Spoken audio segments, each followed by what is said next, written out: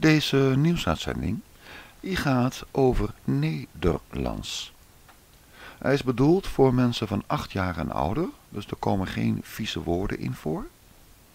En we gaan het alleen maar hebben over taal. En dat vanuit een bijbels perspectief. Want een ander perspectief geeft het niet.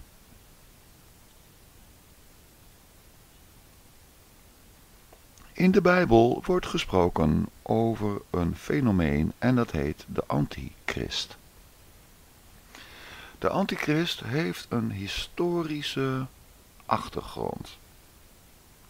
Daar is geen twijfel over mogelijk. Als je het hebt over antichrist, dan heb je het over Babylon. En later werd dat Rome. Dat kan gebeuren, maakt helemaal geen donder uit. En wat was ook alweer de taal van Rome? Ik geef jullie even 20 seconden om erover na te denken. Ik heb een, in de tussentijd, terwijl jullie nadenken, ga ik even vertellen dat ik een boek gelezen heb van Umberto Eco. En dat was geen roman, dat was een beschouwing over taal. En dat boek heette In Search of the Perfect Language. Op zoek naar de perfecte taal. Dat sprak mij aan. In zijn boek wordt wat wij Nederlands noemen uitdrukkelijk genoemd. Ik dacht nummer twee of nummer drie. Latijn was in de mening van Umberto Eco helemaal niks. En terecht naar mijn mening.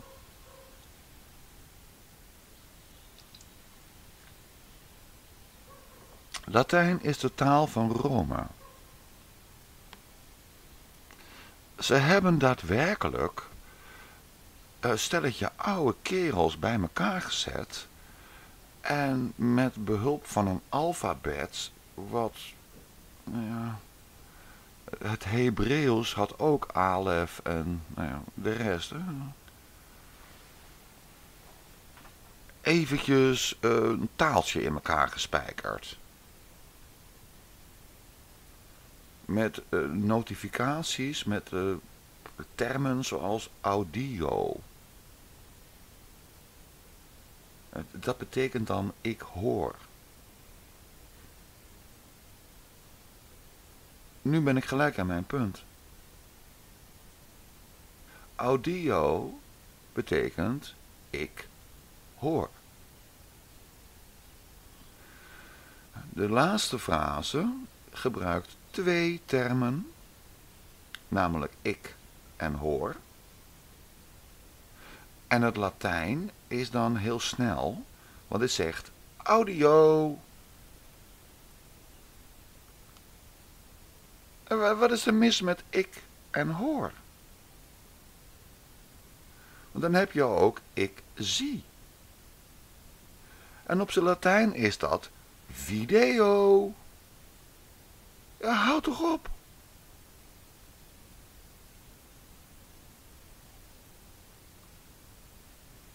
Punt 1. Het woord ik heeft een hele directe intentie met een S heeft een hele directe connotatie. Met een T. Geintje. Wisten jullie al wel, hè? Het woord ik heeft een inwendigheid. En die slaat momenteel, omdat ik aan het woord ben, op mij. Dat is een heel sterk punt van het Nederlands. Het woord ik. En niet dat je de hele tijd moet zeggen, ikke, ikke, ikke en de rest kan stikken. Behalve als je in een punkband speelt. En dan mag het wel. Maar dan wil ik je wel met je zwetende kop op het podium en je laatste bier zien uitsprutsen over het publiek. Want dan hebben we een voorstelling. Dan mag je ikke, ikke, ikke en de rest kan stikken. Dan wordt je volgende nummer 1 hit. In de downwards media.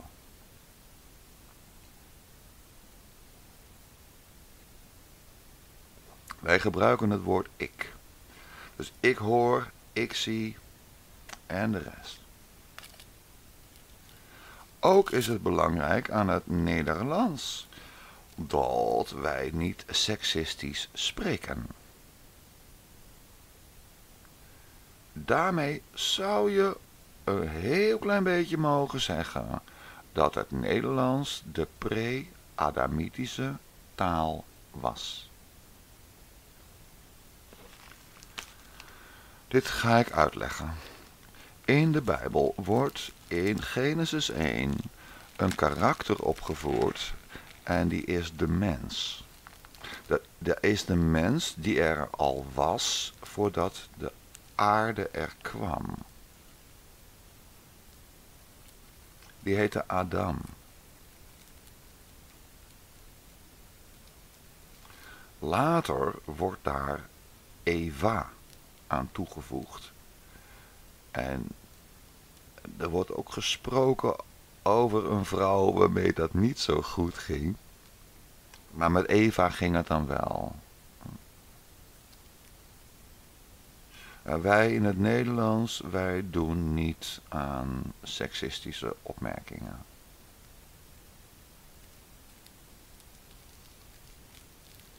Vrouwen kunnen tegen elkaar zeggen, Hé, hey, jongens, zullen we doorlopen? Het is ook de vrouw, de man en het kind.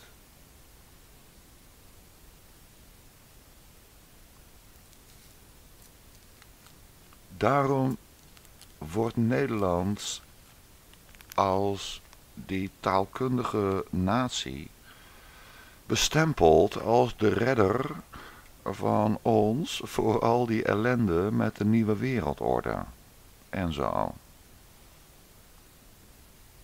Ik denk dat Nederlandse, Nederlands sprekende mensen, als je dat kan,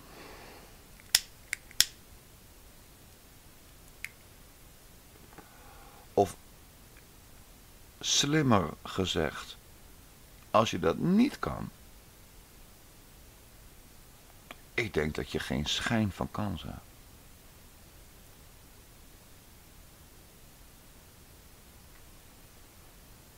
Niet een inzicht van kans. Taal is alles dat ons regeert. In het beginnen was het woord en het woord was bij God en het woord was God.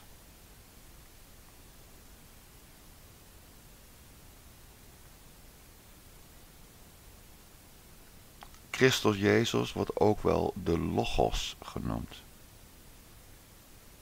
In bepaalde kringen. En ik vind dat ook. Hij was het woord. Logos betekent woord. Logos kennen wij in het woord logica.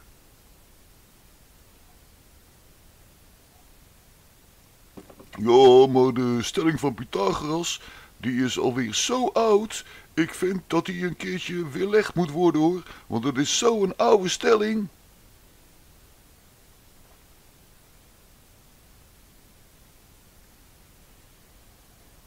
Dat gaat hem niet worden. Het woord wat uitgesproken is en opgeschreven is, dat staat. Daarmee Christus.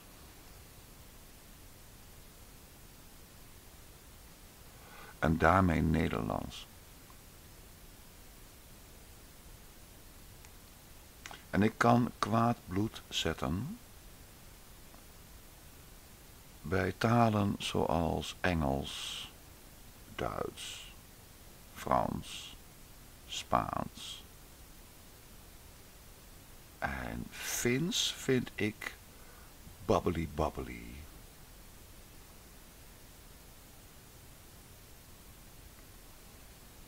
Ik ben in Finland geweest. Ik, ik kon goedendag zeggen in de supermarkt.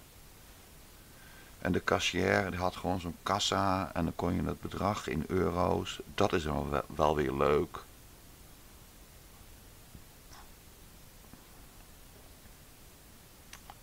En mijn dochter kent meer Finse woorden. Maar wat is Fins?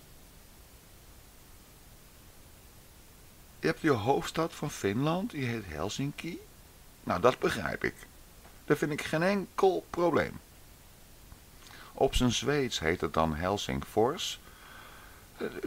Dan word ik al gelijk helemaal depressief. Wat is Finland nou? Fins of Zweeds? Maar die, die Zweden die kunnen kennelijk geen Fins. Dat zijn dombo's. De, waar is een Helsingfors? Ik weet niet waar Helsingfors ligt. Dus dan moeten ze speciaal voor die Zweden moeten ze een bordje maken met Helsingfors.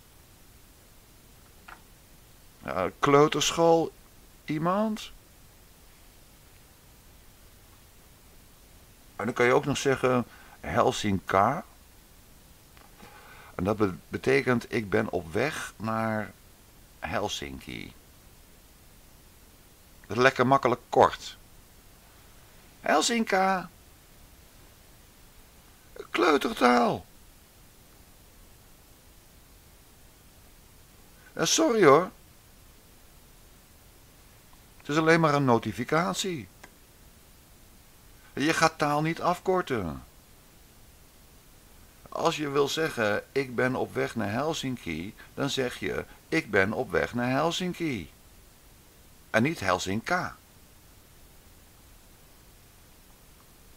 Of Helsinko, of Koi. Hebben ze ook nog een mooi woord van, ik ga weg van Helsinki? En dan schijnt het zo te zijn dat er een taalverbantenis is, vastgesteld door de linguïsten, dat de Finnen, de Hongaren en de Japanners eenzelfde structuur hebben. Nou, daar kan je blij mee zijn.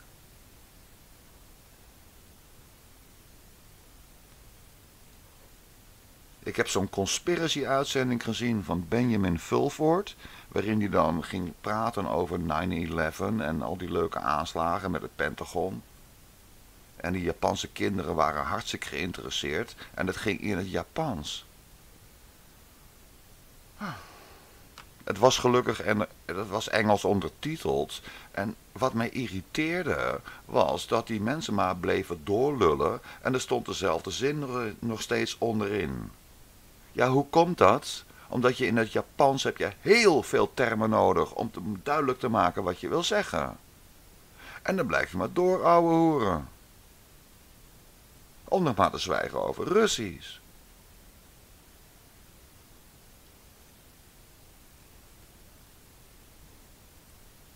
In het Russisch, ik heb een officiële uitzending gezien van Vladimir Poetin. Met allemaal reporters om zich heen. En hij begint met te zeggen, en dat gaat een kwartier door. Het is heel belangrijk wat ik nu ga zeggen en jullie zijn onafhankelijk en ik wil dat jullie opschrijven wat je nu van mij hoort. Die man had het in Nederland niet overleefd.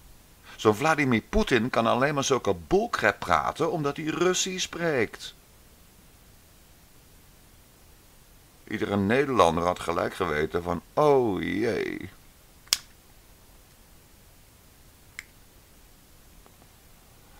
Hier gaat iemand liegen.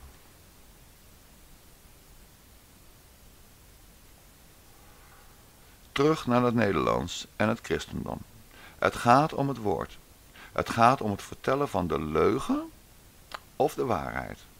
En het gaat erom dat jij zo snel mogelijk in de gaten krijgt wie de leugenaar is en wie de waarheid vertelt. En die bloemige talen. Het Japans is ook zo blij. Weet ik wel wat ze allemaal zeggen. Ik denk dat als je in Tokio naar een of andere sushi shop gaat, dan gaan ze tegen je zeggen: Oh, geëerde gast, wat ben ik blij dat u plaatsneemt aan mijn tafeltje. En dat is mijn tafeltje niet, want het is van dit restaurant en ik ben uw dienaar. En, en wilt u ook de kaart zien en dat ik u dan vertel wat de aanbieding is van vandaag? En dat is dan alleen in de beleefde Japanse restaurants. Want die arme Japanners hebben er ook helemaal genoeg van. Die willen ook allemaal Nederlands leren. Maar ze zijn nog niet uit de kast gekomen.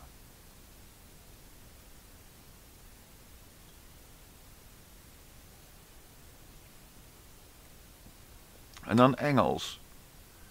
En nu ga ik heel veel mensen tegen de schenen aanschoppen. Want heel veel mensen spreken Engels. Zelfs de Chinezen.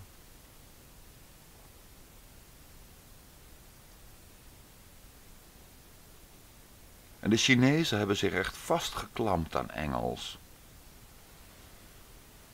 En dat is waarschijnlijk goed.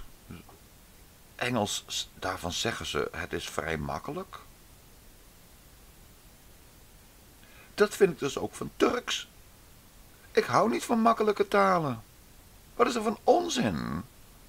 Ja, ik speel heel graag uh, Sudoku, Sudoku, of hoe weet het ook alweer, met die uh, negen cijfers. En dan doe ik alleen maar level 0. Ik mag me daar toch boos over maken? Wat is dat nou voor een onzin?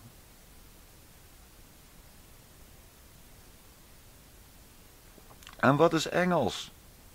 Engels is verlatiniseerd. Ja, dat is Duits wat ik nou zeg. Maar het is verlatijnst. Fries.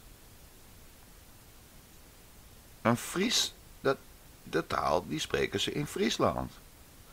Met cheese. Eh, dat is alles met Engels. En Engels sterft van de Franse woorden. En waar komt die rotzooi vandaan? Ja, van Rome. Het Latijnse meuk. Latijnse meuk die ons mensen degradeert tot humans. Ja, die moet even lekker leuk eh, vinden om iedere dag uitgemaakt te worden voor een human. Ik ben helemaal geen human.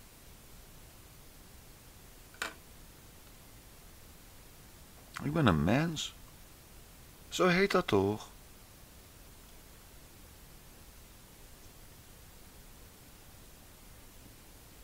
Frans is totaal onverstaanbaar. Een soort geheimtaal. Je, je praat zoveel mogelijk binnensmonds en bah oui, bah non en putain.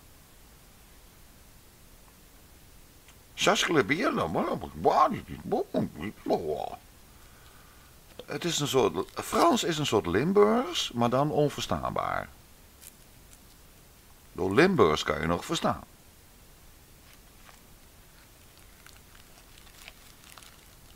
Dan moet je een beetje weten dat uh, praten, dat is kallen. En voor de rest uh, is alles eigenlijk makkelijk. Het zijn schuchtere mensen, die Limburgers. Helemaal overruled overheerst door de katholieken. Ja, die Limburgers houden voor de rest hun mond wel. Maar dat zijn allemaal normale spreekwijzen. Het Engels niet. Het is bullcrap. Ook de term human being Waar haal je het vandaan? De menselijke aanwezigheid? Squeeze me? Wij waren erbij toen eh, God de aarde schiep.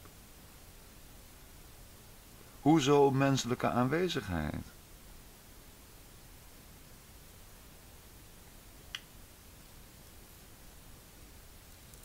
Wij zijn toch de aanwezigheid?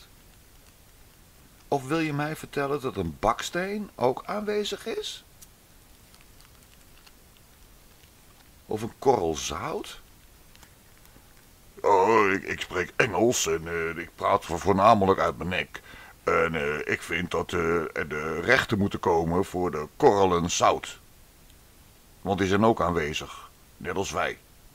Wij zijn allemaal being en wij zijn human being. Pa!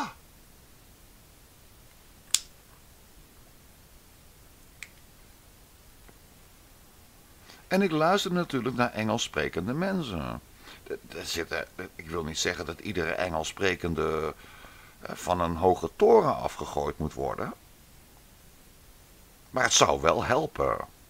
Met een vangnet eronder natuurlijk en het heet Nederlands.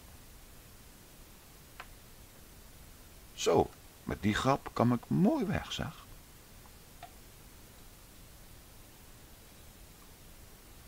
Wat hebben we nog meer? We hebben Fins gehad met de Helsinki, Helsinkooi. Hongaars hebben we nog niet gehad. Uh, ja. In het Hongaars noemen ze wijn, noemen ze bor. En bier noemen ze schoem. Het lijkt me te doen.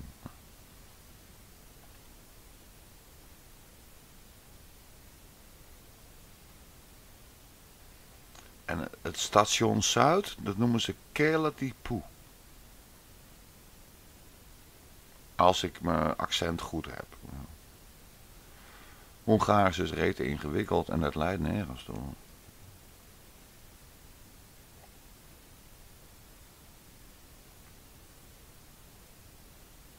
Poe is dan Zuid of is Poe dan station? Dat zou ook nog kunnen.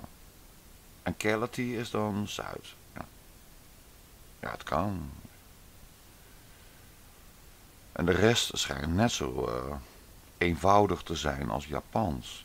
Je neemt gewoon heel veel woorden. Bla bla bla bla bla. En dan komt je boodschap wel over. Hmm.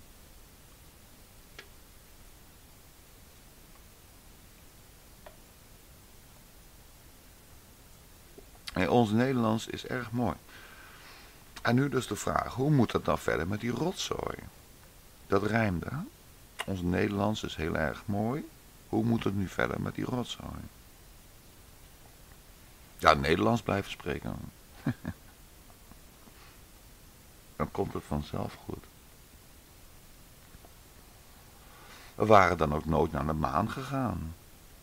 Want iedereen weet op zijn Nederlands, als je naar de maan gaat, dan gaat het niet zo goed met jou. En waarom wil je dat het niet goed gaat met jou? Wat hebben wij überhaupt te doen met naar de maan te gaan? Ik weet dat ik wel eens naar Den Haag ben gegaan. En dan zijn we nog omgereden om bij die ene snackbar een patatje pindasaus te halen. En dan heb je een doel in je leven. Want je wil een patatje pindasaus. Maar naar de maan? Wat is dat te halen?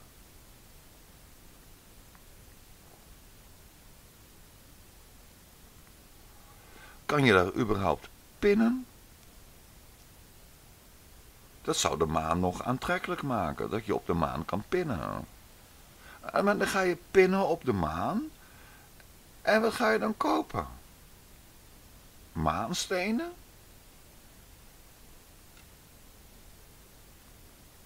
En hoe zit het met die temperaturen daar? En er schijnt ook geen atmosfeer te zijn. Hier.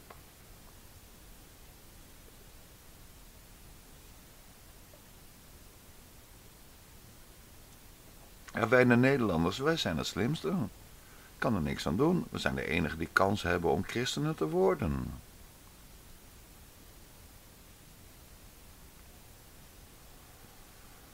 Het de belangrijkste. Want schakel die Engels sprekende mensen niet uit.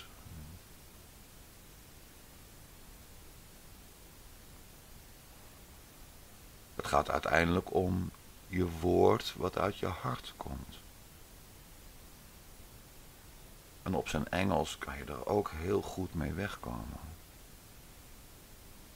Als je maar goed weet wat je zegt. En je leidraad is het Nederlands. Als je een frase niet kan vertalen op zijn Nederlands, dan is het bullcrap. Zoals, tussen nu en tien jaar gaan we naar de maan.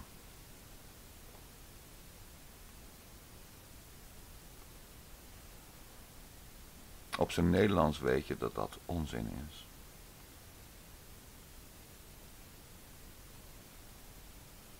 Dat is de rijkdom van onze taal. En die, die rijkdom van die taal nodigt ons uit om te gaan nadenken. En te gaan lezen. En te gaan bevatten. En te gaan begrijpen. Dat je moet stoppen om die A12 de hele tijd vol te zetten met files. Dat kost alleen maar dennenbomen.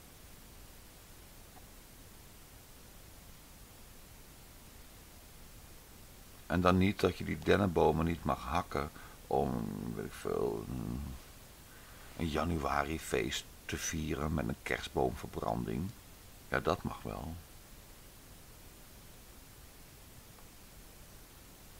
Maar niet dat je die kerstbomen hakt omdat de, de snelweg weer breder wordt. Want iedereen staat in de file. Wij Nederlanders begrijpen dat. Wij zijn ook het dichtst bevolkte land samen met Bangladesh ter wereld. Wij zitten hier hutje mutje en rara, hoe kan dat? Nou, dat komt omdat wij Nederlands spreken. En die buitenlanders die komen hier naartoe voor Nederlandse les. En die zijn stom verbaasd. Want Nederlands is geen Duplo. Dat is een Lego. Of Mechanica. Dat is een ander merk. Meccano heet dat. Meccano. Het is een stapel van woordschatten. En die kan je op allerlei manieren aan elkaar vastschroeven. In het Nederlands kan je van alles zeggen. Ook hele verschrikkelijke dingen.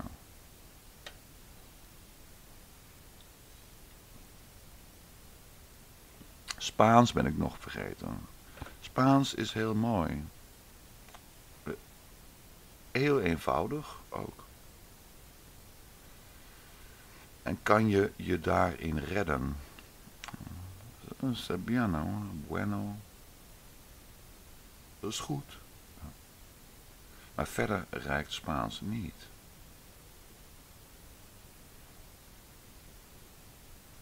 God noemen ze op zijn Spaans Dios. Oftewel Deus. En waarom zou je God Dios noemen?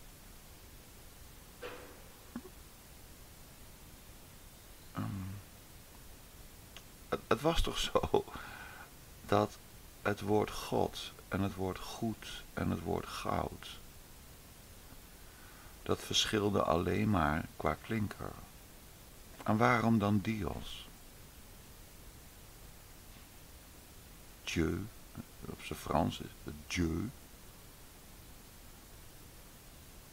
Latijns is Deus. Waarom praat je Mongolen-speak? Nee, ik, eh, ik heb helemaal geen vocabulaire nodig, want ik heb 70 eh, woorden en die ken ik uit mijn hoofd en uh, daarmee doe ik het.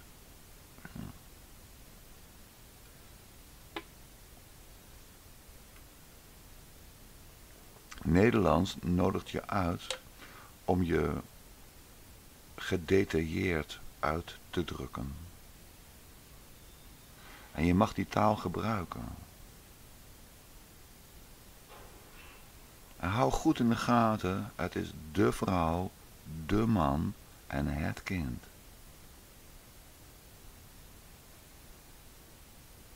Of de man, de vrouw en het kind. Maakt niet uit. Man en vrouw zijn beide de. Het kind, dat is het item, dus kan van alles zijn. Dat is klein en verdient zorg.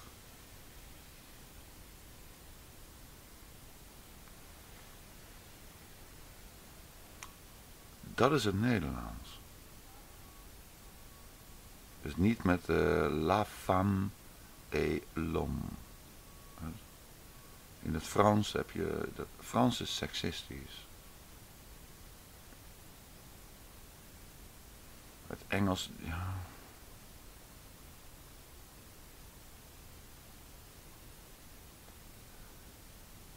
Je hebt woman op zijn Engels.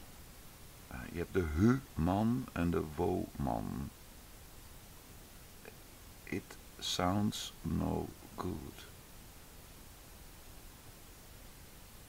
Onze taal, het Nederlands, naar mijn mening, stamt het af van het Pali en het Sanskriet. En daarin wordt gesproken over de mens en de man.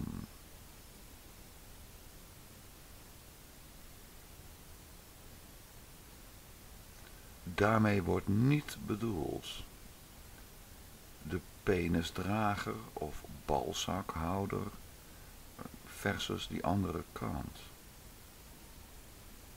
Er wordt mee bedoeld, je hebt van de, op zijn christelijk geïnterpreteerd. Je hebt van de Heere Heren het vermogen gekregen tot creativiteit. En dat ga je toepassen. En dan ben je een man. Ben je Adam. En die, die kortbenigen onder ons, op een of andere manier, als je ballen tussen je dijen gaan hangen, dan krijg je lange benen. En als dat niet gebeurt, dat die ballen niet afdalen, en die blijven in de buik hangen, dan krijg je korte benen. Nou, toen heeft God gezegd, oké, dit gaan we repareren. Met een bijzondere rol voor de vrouw.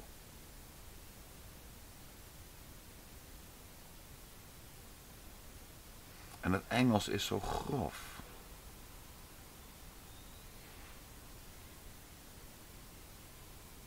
Ik kan een uitzending houden dat je Amerikaans kan spreken en op zijn Amerikaans, en op zijn Nederlands zeg je, ik ga naar de keuken. En wat is Amerikaans dan? Nou, op zijn Amerikaans zeg je, ik ga naar de neukende keuken.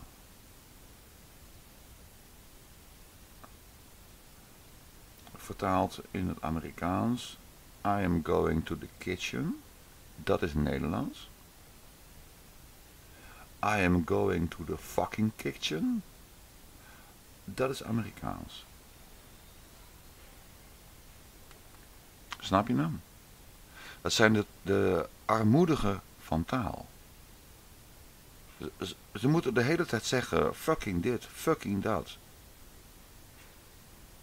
En, en Engels, dat is ook Latijn, heeft hetzelfde. Alleen dan zeggen ze, dus even op zijn Nederlands, ik ga naar de keuken. En op zijn Engels zeg je, ik ga naar de bloedige keuken.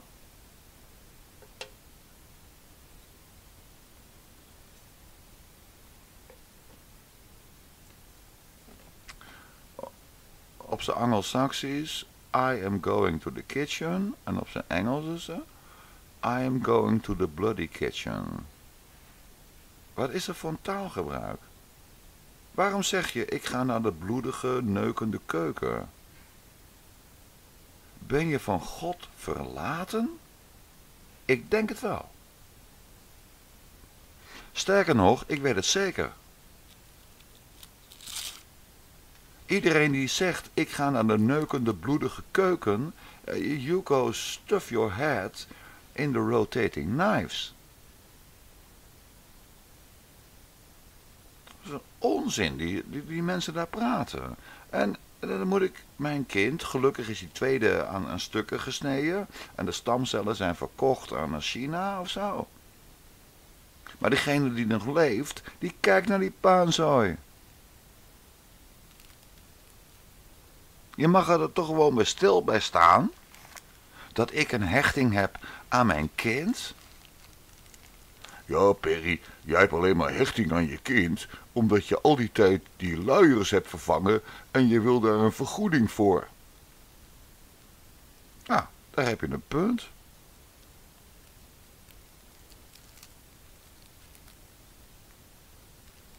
Ja, maar je mag niet hechten. Ja, ja, daar heb je een punt.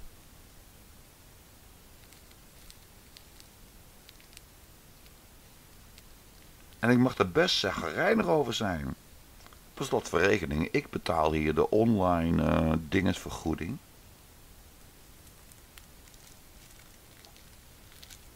En ik heb recht tot spreken. Dus ik mag het zeggen. En dit is mijn mening over taal.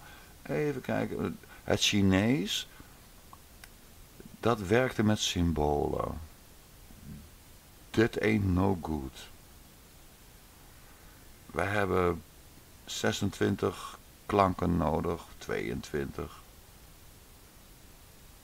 Ik weet niet eens hoeveel. Ligt een beetje aan je dialect. Dat zijn ze. En daarmee maak je woorden. En met die woorden maak je zinnen. En dat geheel vormt een verhaal. Iets wat je te zeggen hebt.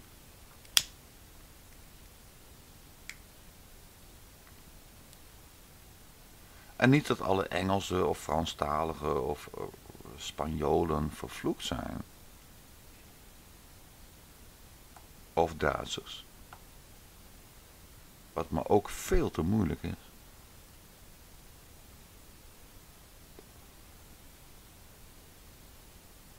Het Duits, die, dat, daar zitten een bepaald aantal woorden omgedraaid. Bijvoorbeeld varen. Wij noemen dat rijden.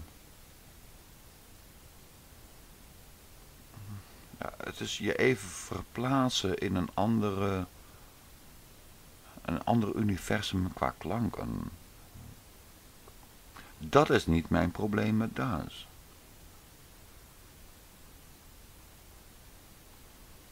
Mijn probleem met Duits is al die naamvallen en dat gedoe met dat ze de C, dat noemen ze das meer. En een meer noemen ze die C. Denk ik. Dus das meer und die C. Ik vind dat taalvervuiling. Want de zee is wat je kan zien. En een meer, of dat meer, dat is een meer. En de zee kan je zien doordat je het einde van de zee niet kan zien.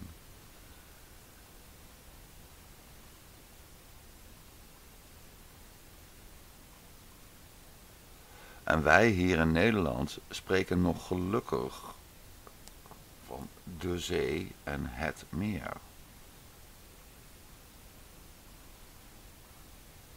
En die Duitsers, die zijn helemaal verdwaasd. Die zijn ondersteboven gezet met hun taal.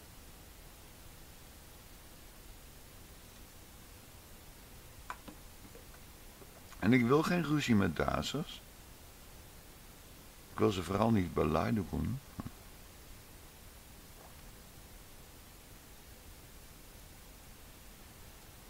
En ze zitten ondersteboven. Voor de rest, als je met Duitsers plat praat, dat ken ik graag nog gedaan, en dan reed het een beetje platen. Kennen ze je prima verstaan. Behalve als je naar Zandvoort wil. Want waar ga je naartoe? Naar het meer of de zee?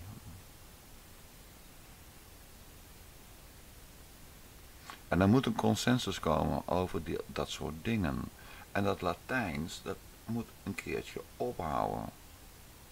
Die stomme verzonnen taal. Want ik wil helemaal niet dat, dat de zee een meer genoemd wordt.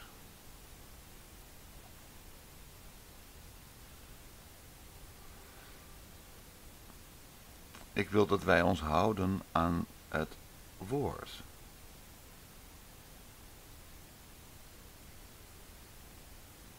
En Engels, eh, in het Engels zeggen ze nog see. Dat is mooi. Zie. Oké, eh, eh, ter afsluiting. Het is nu richting, we zitten midden in december. Koop een uh, retourtje naar Zandvoort. En dan loop je van Zandvoort naar Parnassus, heet dat. En dat doe je met noordwestenwind. En dan ga je tegen de wind in naar Parnassus. En daar een chocolademelk. Voeten warmen. En teruglopen naar Zandvoort met de wind in de rug. En met de trein terug. Dan heb je de zee gezien.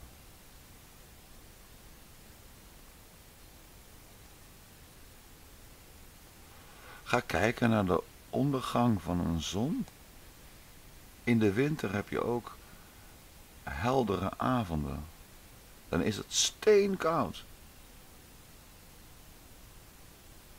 Zie de zon zakken over de zee. En wees dankbaar dat je leeft. En de volgende keer ga ik het hebben over atonement.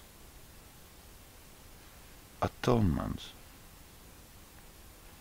Waarom die protestanten een punt hadden. Hé hey, dag lievers, dank jullie wel dat jullie geluisterd hebben naar het Nederlands. En op zijn Hamburgs, zag ik. Tjus. Een dag liefers.